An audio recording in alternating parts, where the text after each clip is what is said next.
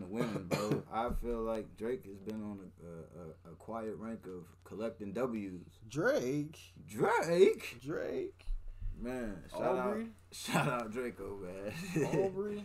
Nah, that's Yeah. what's up, man. That's what's up. But yeah, man, uh, this story is held out of hiphopdx.com, man. The dopest I've came across, man. My, Marley, my man Marley seven seven three put me up on Yeah. it, bro, for the hip hop news. You feel me? Yeah. So y'all go make sure y'all check them out, man. Hiphopdx.com for your latest hip hop news and reviews. Uh, Drake basically surpasses Eminem as the highest selling singles artist in RIAA history. And that's the that's the shit that declares songs like platinum and stuff, right? Yeah, that's Yeah, that's like gold, platinum, and diamond, and all that stuff, right? Okay, and, Uh, and you say Drake surpassed Eminem. Yep. So it says Drake has Yeah. been crowned the highest certified singles artist in RIAA history, eclipsing uh, fellow commercial juggernaut Eminem.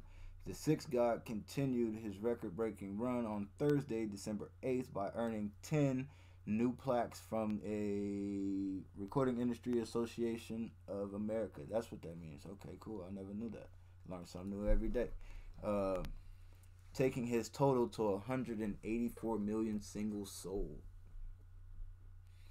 Uh, Okay. The figure pushes Drake past Eminem, who was previously awarded the distinction in March after achieving 166 million units sold for his singles catalog.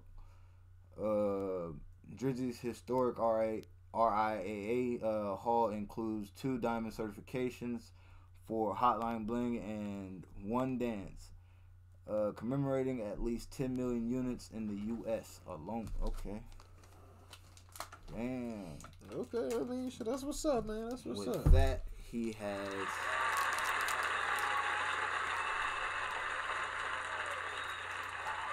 Yeah, that's what's up. That's what's up. And with that, it says uh, he's now just the third act in history to score at least five diamond singles. God Plan, Sicko Mode with Travis Scott, and Life is Good with Future are the other three to achieve the feat. Damn. So he got it. So I mean, even like those three names you just named, they got those plaques too. you feel me? Look, look, look, That's what's up, though, bro. Check this shit out though. It says uh, Drake's new hardware puts him in rare company with Bruno Mars and Post Malone, who have six and five diamond singles respectively. Damn, bro. Yeah, it's out there, man. I mean, that. I mean, motherfuckers put out good music, bro. They put out music motherfuckers like. That's all it is, man. Laguna Not Media, what's up, bro? Damn, it's a his shit up there with uh, Hey, y'all.